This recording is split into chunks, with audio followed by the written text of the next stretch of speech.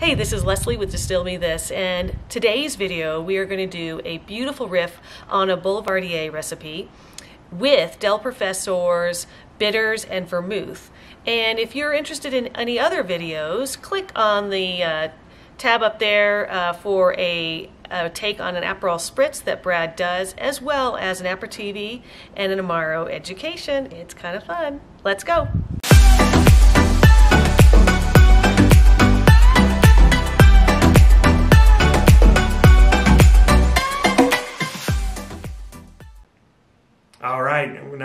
Kind of show off a cocktail that is actually a little bit more of an after dinner drink.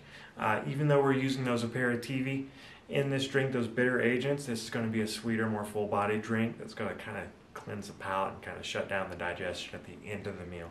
So it's going to be a riff on a classic drink called a Boulevardier. It's going to be very close to a Boulevardier. A Boulevardier is a riff, of course, on a Negroni, which was a riff on Americano go Google it and you can look up all these different cocktails. Uh, what we're going to do with the Boulevardier, we're going to use four uh, mixing ingredients and then our bar tools. We're going to use a bourbon. We can also use a rye. Quite frankly, use any kind of American whiskey, but you want that new charred oak flavor. This is a 90 proof bourbon. I actually don't want this to be so blasting with alcohol, but you can go use 110 proof if you want, or you can use an 80 proof if you want. Whatever kind of uh, fits your budget and fits your, your taste. We're going to use two Del Professor products.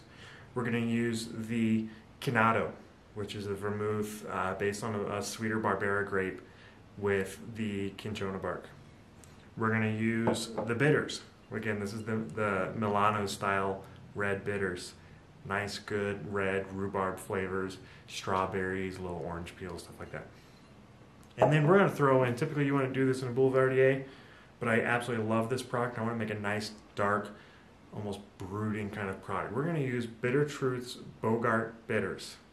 If you can't find the Bogart's bitters, look for the Jerry Thomas bitters. You can pick up Angostura bitters or any kind of uh, heavy root bitters for sure. Bar tools and equipment, we're going to garnish with an orange peel. We're going to use our jigger. This one is going to be, you want to keep this pretty tight within the recipe or else flavor is going to get out of balance. So use your jigger on this. We'll use our citrus peeler. We will use our strainer, or bar spoon. We're going to stir this drink in our stirring vessel, if you will. And then we're going to put this in a, a rocks glass like this lovely one right here. Okay, let's get to making a drink. Okay, do an ounce and a half bourbon.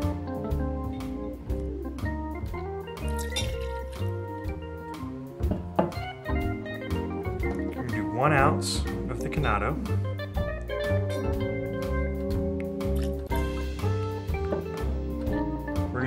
Quarter ounce of the bitter liqueur.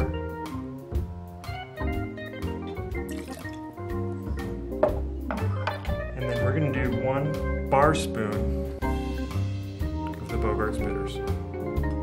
This stuff is really strong. You see I splashed a little bit extra. This is going to be a strong bitter drink.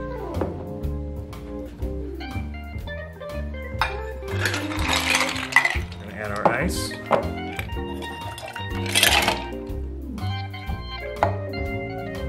Stir.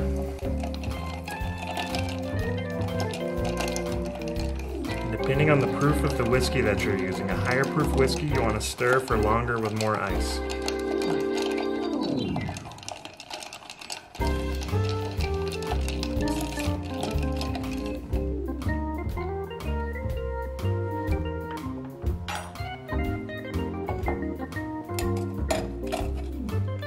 pour in our rocks glass.